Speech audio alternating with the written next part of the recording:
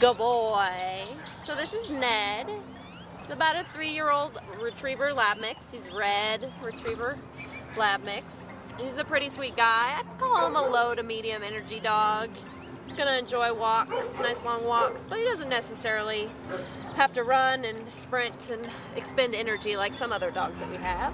Ready? Um, he's really big on tennis balls, so he's learning how to fetch for us.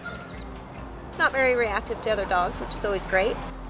Dogs like Ned and a lot of the dogs that we see here at Austin Pets Alive might have some behavior issues in their past, but the great thing about our staff is they will stay in contact with you and make sure any issues that he might have are addressed.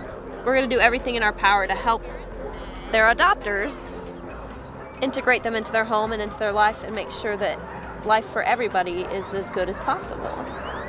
Huh, Ned? There's a tail wag. Huh? There's a little one.